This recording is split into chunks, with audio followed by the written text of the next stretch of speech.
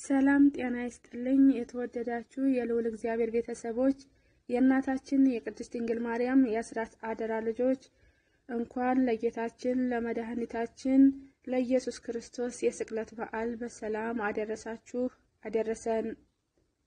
በስመ አብ ወወልድ ወመንፈስ ቅዱስ አህዱ አምላክ አሜን። የቅድስት ድንግል ማርያም ሐዘን አርብ በሶስት ሰዓት የሚነበብ አባ ሕርያቆስ የደረሰው ድርሳን ይህ ነው። ወዳጆቼ ሆይ የአባቶች አለቃ የያዕቆብ ልቅሶ ዛሬ ታደሰ አለ። በድንግልና ጸንሳ በድንግልና ለወለደችው ለተወዳጅ ልጇ ድንግል ማርያም ለምን አታለቅስም? መከራ ስለተቀበለችበት ድንግል ማርያም ለምን አታለቅስም? የድንግልና ጡቷን ለአጠባችው ድንግል ማርያም ለምን አታልቅስ? በቤተልሔም በበረት ስለወለደችው ልጇ ድንግል ማርያም ለምን አታልቅስ? በማኅፀኗ ዘጠኝ ወር ከአምስት ቀን ለተሸከመችው ተወዳጅ ልጇ ድንግል ማርያም ለምን አታልቅስ?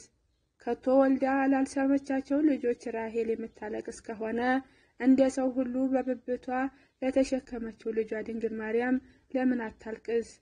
ከቦታ ወደ ቦታ ይዛ ላልተሰደደችባቸው ልጆች ራሄል የምታለቅስ ከሆነ ከሀገር ወደ ሀገር አዝላ ለተሰደደችበት ልጇ ድንግል ማርያም ለምን አታልቅስ?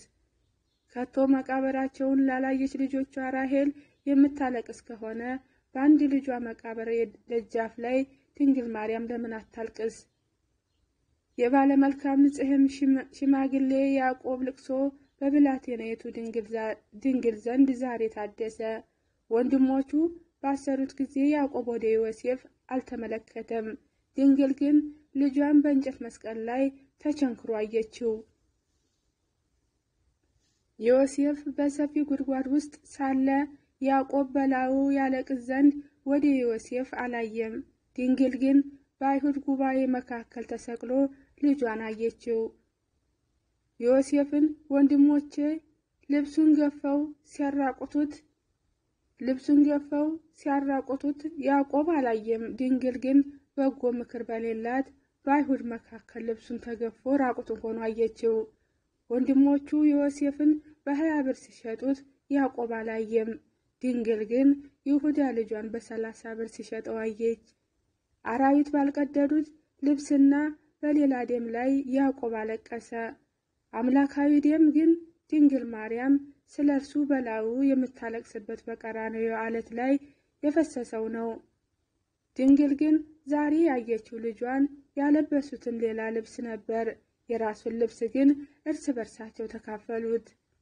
ዮሴፍ ወንድሞች ወንድማቸው ዮሴፍን በሸጡት ጊዜ አለቀሱ፣ ተጸጸቱ። የእስራኤል ልጆች ግን ጌታቸውን በሸጡት ጊዜ አላለቀሱም፣ አልተጸጸቱም።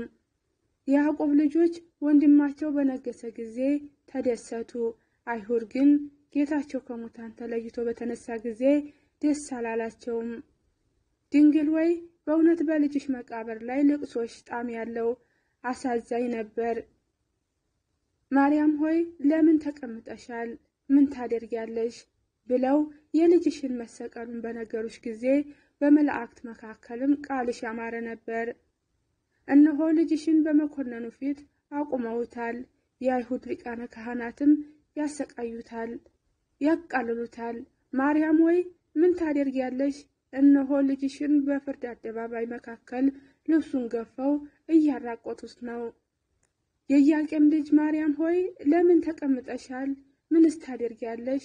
እነሆ በኢየሩሳሌም ሜዳ የሚሰቅሉበትን ግንድ ብቻውን ተሸክሟል። አንድ እንኳን ወደ እርሱ የሚቀርብ የለም። የሐና እርግብ ሆይ ለምን ተቀመጥሽ? የምትሰሪውስ ምንድን ነው? እነሆ ልጅሽን ሰቀሉት፣ በቀራንዮ ቦታ ቆሟል። የዳዊት ዘር ሆይ ልጅሽን በመስቀል ላይ ለምን ከፍ ከፍ አደረጉት? እመቤቴ ድንግል ሆይ በዮሐንስ ቤት ዛሬ ልቅሶች በእውነቱ ጣዕም ያለው ነበር። እንዲህ ስትይ ወዮ ለዚህ መራራ ወሬ ነጋሪ ለኢዮብና እስራኤል ለተባለ ያዕቆብ ከአረዷቸው መርዶ የመረረ ነው። ዛሬ ወደ እኔ ለሚመጣ ለዚህ ለክፉ ወሬ ወዮ ልጄ ወዮ ልጄ ልጄ ሆይ ሀገሩን ባቃጠሉ ጊዜ ለሎጥ ካረዱት መርዶ ያስጨንቃል። በእኔ ላይ ለደረሰው ለዚህ አስጨናቂ ስብከት ወዮ ልጄ ልጄ ሆይ ስለ ኃያላን እስራኤል ሞት ካረዷቸው መርዶ ይበልጣል። በዚህ በክፉ ወሬ ወደ እኔ ለመጣው ለዚህ ወሬ ነጋሪ ወዮ ልጄ ሆይ እነሆ ስታረጋጋኝ ሰላሳ ዓመት ይሆናል። ለገሰጸህም ልገስጽህም አልተቻለኝም። ዛሬ ወደ እኔ ወሬህ እስከመጣ ድረስ መጥተህ እስከምትገባ አንዲት ሰዓትስ እንኳ አላመንኩም። ልጄ ሆይ ለሐዘኔ ሁሉ ጥንቱ ሰሎሜ ናት።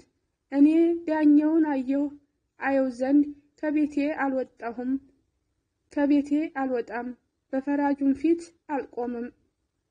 ሌባውን ራሱን ሲቆርጡት ሽፍታውንም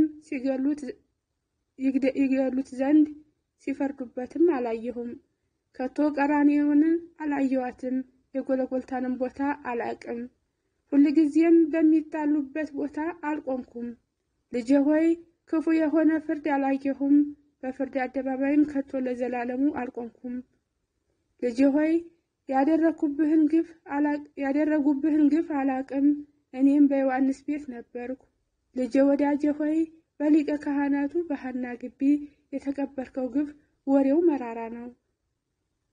ልጄ ወዳጄ ሆይ ዛሬ ከእኔ ላይ ነፃነቴን አስወግደህ ስለ ልደትህ በናዝሬት መልካም የምስራች ነገሩኝ። ዛሬ ግን በኢየሩሳሌም ይህችን ክፉ መርዶ አረዱኝ። በዮሴፍ ቤት መልካም ዜና፣ በዮሐንስ ቤት ግን የሞት ዜና መጣልኝ። ልጄ ወዳጄ ሆይ እኔ በልቤ ደስ እያለኝ ተቀምጬ ነበር። በየዕለቱ ፋሲካ ደርሷል፣ በዓሉን እናከብር ዘንድ ወደ ሀገራችንም እንመለሳለን እያልኩ ነበር። የዚህ አይነት ፋሲካም ደረሰኝ። ልጄ ወዳጄ ሆይ በእንባና በሐዘን በዓሌ ወደ ልቅሶ ተመለሰ፣ ፋሲካም ወደ ልብ ሐዘን። በዮሐንስ ቤት ሳለች ስለ ልጇ የመከራ ወሬ በመጣበት ጊዜ ድንግል እመቤታችን ይህንን ልቅሶ ታለቅስ ነበር። ከእርሷ ጋር ይሄድ ዘንድ ከንጹሐን ሐዋርያት አንድ ፈለገች አንድ ፈለገች፣ አላገኘችም። አይሁድን ከመፍራት የተነሳ ሁሉም ትተዋት ሸሽተዋልና ከእርሷ ጋር ይሄድ ዘንድ ስለ ጴጥሮስ መረመረች። እርሱማ የካህናት አለቆችን ከመፍራቱ የተነሳ ልጅሽን ከቶ አላውቀውም አለ። ሄዶም ተሸሽጓል አላት። ዳግመኛም ስለ ጌታችን ወንድም ስለ ያዕቆብ መረመረች። ሊይዙት ሰዎች በተራራ ላይ ልብሱን ትቶ እንደሸሸ ነገሯት። እንድርያስንም ፈለገችው። እርሱስ ወደ ከተማ አብሮት አልመጣም አሏት። እንደዚሁ ቶማስም ሸሽቶ ሄደ። ስለ በርጤልሞስ ጠየቀች። እርሱም ከወንድሞቹ አስቀድሞ እንደሸሸ ነገሯት። ስለ ፊልጶስም ጠየቀች። እርሱም የፋናዎችን ወጋገንና መብራቶችን ባየ ጊዜ ፈርቶ እንደሸሸ ነገሯት። ስለ ዮሐንስ ወንድም ስለ ያዕቆብ መረመረች። አንድ ጊዜ ስንኳ እንዳልቆመ ነገሯት። ስለ ማቴዎስም መረመረች። እርሱም ግብር ስለሚቀበላቸው አይሁድና የካህናት አለቆች እጅግ ስለፈራ እነርሱም ስለሚጠሉት በሌሊት ጨለማ እንደሸሸ ነገሯት። ስለ ሁሉም መረመረች። አብሮ ወደ ቀራንዮና ወደ ጎለጎልታ ከሄደው ዮሐንስ በቀር አንድም አላገኘችም። ድንግልም ከልጇ ደቀ መዛሙርቶች ከዮሐንስ በቀር አንድ እንኳ ባለማግኘቷ እንደገና ዳግም ወደ ጽኑ ሐዘኗ ወደ ጽኑ ልቅሶና ሐዘኗ ተመለሰች። እንዲህ እያለችም አለቀሰች። ልጄ ወዳጄ ሆይ ወዮልኝ፣ ወንድሞች ሸሹ፣ ትተውም ተሸሸጉ። አባቴ ጴጥሮስ ሆይ ጌታህን እንዲያትክድ ሁል ቀን እጠራጠርህ ነበረ። ስለ እርሱ ወርቅ ብር አልሰጥህ፣ ለምን ጌታህን ፈጥነህ ካድከው? ስለ እርሱ መርከብ ወይም ቀዛፊ አልሰጥህም፣ መምህርህና ጌታህን ዛሬ ለምን ካድከው? ስለ እርሱ ምንም አልሰጠህም፣ ወንድ ልጅም ቢሆን ወይም ሴት ልጅ ጴጥሮስ ሆይ ስለ እርሱ ወንድምን ወይም ወዳጅን አልሰጠህም? ልጄን ለምን ካድከው? በዚህ ሁሉ በዚህ ሁሉ ልብህ ለምን ቀላል ሆነ? ጴጥሮስ ወይ እስከ ፈራህና ፈጥነህ እስከ ካድክ ድረስ ለእኔ ነው ትል ዘንድ በድጋሚ ሌላ መስቀል አላየህ እንደ ብረትም የተሳለ አንደበት ሰጥቶህ ነበረ። ጴጥሮስ ሆይ አንተስ ያለ እሳትና ያለ አንጥረኛም ፈጽመህ አቀለጥከው። ጴጥሮስ ሆይ ከሰው ሁሉ ለገጽህ ግርማ ሰጥቶህ ነበረ። ብርሃናቸው የማይጠፋ ዓይኖችህን የሰጠህ ሲሆን ስለ ጌታህ አንዲት ጥፊ ስትቀበል ዘንድ ዛሬ አልታገስክም። ጴጥሮስ ሆይ የመንግሥተ ሰማያትን መክፈቻ የሰጠህ ልጄን በካድከው ጊዜ አልፈራህም? በሊቀ ካህናቱም ግቢ አልታገስክም? በእርሱ ፈንታም ለዓለሙ ሁሉ የታመነ ጠባቂ አድርጎ ሾመህ። ጴጥሮስ ሆይ ስለ ጌታህ አንድ ጊዜ ስንኳ ጥቂት መከራ አልተቀበልክም። ጴጥሮስ ሆይ ለዓለሙ ሁሉ አባት ትሆን ዘንድ ሾመህ። አንተ ግን ለልጄ የወንድማማችነት ፍቅርን አላደረክም። ጴጥሮስ ሆይ አምላካዊ እጁን በራስህ ላይ ጫነ። አንተ ግን ከመካድህ በፊት ዛሬ በራስህ ላይ የእሾህ አክሊል ይጭንብህ ዘንድ አልፈቀድክም። ጴጥሮስ ሆይ ልጄ ለአንተ ወዳጅህ እንጂ እንደ ጌታህ እንዳልሆነ አስብ። ልጄን እንደዚህ ትክደው ዘንድ ለአንተ አይገባም፣ ለአንተ አግባብ አይደለም። ጴጥሮስ ሆይ ከእኛ ጋር ይህ ሁሉ ድካም እንዳገኘው እንደ አባቴ ዮሴፍ ብትሆን ኖሮ ጴጥሮስ ሆይ እንደ እርሱ ወደ ሄሮዶስ ቢጎትቱህ በግብፅ ምድርም ከእኛ ጋር መከራ ተቀባይ ብትሆን እንደ እርሱ መታገዝ ባልቻልክም ነበር እንጃ። አባቴ ጽድቁ ዮሴፍ ሆይ በአጥንቶችህ ላይ የሰማይ ጠል ይውረድ፣ ነፍስህም ዕፀ ሕይወትን ትመገብ። ከእኛ ጋር ታግሰህ መከራ ስትቀበል እንደ ጴጥሮስ ልጄን አልካድክምና። ጴጥሮስ ሆይ ወደ ፍርድ አደባባይ አልወሰዱህ ባለ አልወስድህ ባሉ ባለ ስልጣኖችም ፊት ፊት አልቆምህ፣ ፈጥነህም ጌታችንን ካድከው። ድንግል በዮሐንስ ቤት እንደዚህ ስታለቅስ ሳለ ዮሐንስ እያለቀሰ መጣ። እርሷንም እያለቀሰች አገኛት። ድንግል እመቤታችንና ዮሴፍንም ስለ ጌታችን ኢየሱስ ክርስቶስ እርስ በርሳቸው እየተላቀሱ ሁለቱም አብረው ነበሩ። ዮሐንስም ድንግል እናቴ ሆይ ጌታችን ጴጥሮስ ስለ ካደው አታልቅሺ አላት። አሳልፎ እንደሰጠው እንደ ይሁዳ ነውር የለበትምና በአራት ጊዜ ጴጥሮስ ሆይ ሶስት ጊዜ ትክደኛለህ ሲለው መምሬን ሰምቼዋለሁና።